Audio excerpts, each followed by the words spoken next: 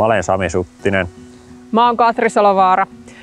Me ollaan maidon tuottajia Hausjärveltä Peltomattilan tilalta. Eli tää on mun, mun kotitila, mä oon täältä kotosi ja tää on meidän perheen omistuksessa ollut 60 vuodesta alkaen. Et me ollaan Katrin kanssa tässä kolmas viljelijä pariskunta.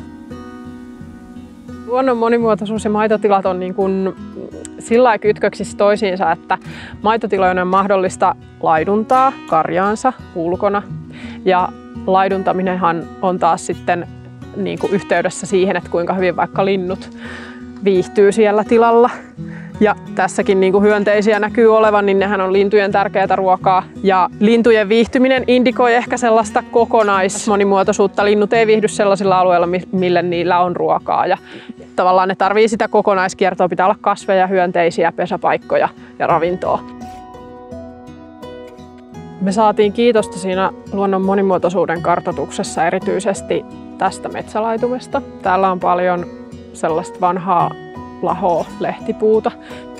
Kasvillisuuden puolesta niin tuolla löytyi sellaisia lajeja, mitkä indikoi sellaista pitkään jatkunutta laidunnusta. Ja ne on taas hyönteisille ja pölytteille tosi arvokkaita niin kuin ravintokasveja. Sitten löytyy sellaisia pahteisia pientareita ja ketomaisia niittyjä muutamasta paikasta. Harvinaisempia tai uhanalaisempia luontotyyppejä kuin vaikka koivikkohaka ja sitten on kaksi kosteikkoa lisäksi.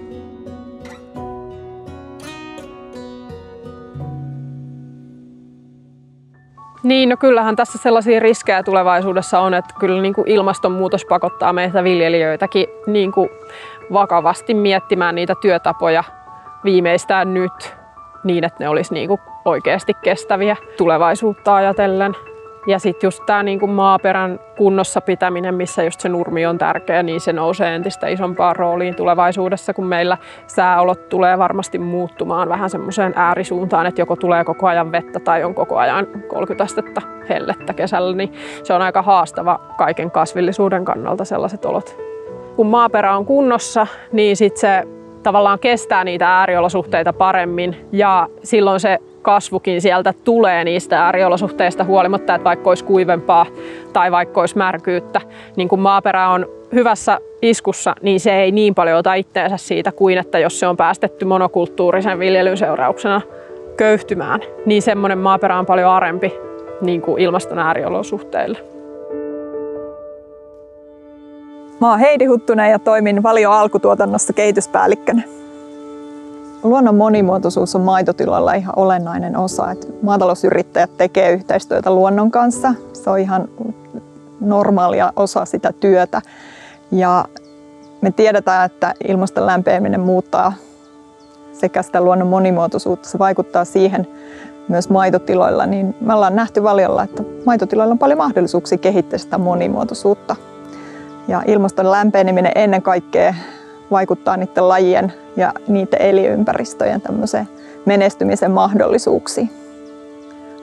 Laiduntaminen ei ole kaikilla tiloilla aina syystä tai toisesta onnistu, mutta sitten kuitenkin karjatiloilla kaikki tilat voi hieman panostaa siihen viljelykiertoon, niihin kasvilajeihin ja valikoimaan, mitä tilalle sitten viljellään lehmien rehuksi.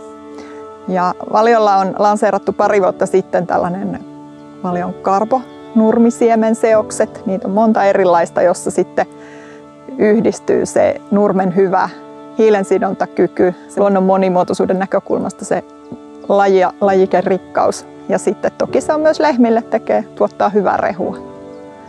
Meillä Valiolla ollaan viime kesänä ja tänä kesänä jatketaan niin tehty tällaisia maitotilan luonnon monimuotoisuuskartoituksia yhteistyössä maa- ja kotitalousnaisten maisemapalveluiden kanssa – ja tämän kartoituksen avulla sitten meidän maitotilayrittäjät saa tietää, että millainen se luonnon monimuotoisuus on sillä omalla maitotilalla. Ja toisaalta myös vinkit siihen, että miten sitä monimuotoisuutta voidaan siinä omassa tilaympäristössä lisätä. Kuitenkin tiedetään se, että vaikka paljon hyvää on saatu aikaiseksi, niin luonto köyhtyy koko ajan ja tarvitaan yhä uusia tekoja sen monimuotoisuuden lisäämiseksi. Se, miten maitotiloilla voidaan monimuotoisuutta lisätä, niin toimenpiteitä voidaan tehdä hyvin monenlaisia. Tilat on hyvin erilaisia keskenään. Kaikilla ei ole sellaisia samanlaisia mahdollisuuksia kuin toisilla, mutta on paljon myös niitä asioita, mitä kaikki tilat voi tehdä. Ja monimuotoisuuden lisääminen on aika pitkä prosessi, että, että lajit kyllä katoaa hyvin nopeasti, jos niiden elinympäristöt vaikka hupenee tai ne lajien lukumäärät hupenee.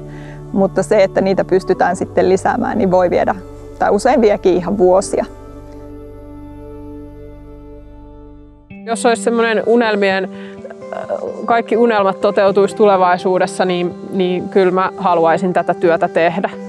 Ja vaikka sitä ei ehkä kaikki osaa ajatellakaan, mutta kyllä mä niin kuin näen, että me eletään aika vahvasti myös luonnosta edelleen. Se on kyllä semmoinen niin kuin aika hyvinvointia lisäävä tekijä ainakin itselle.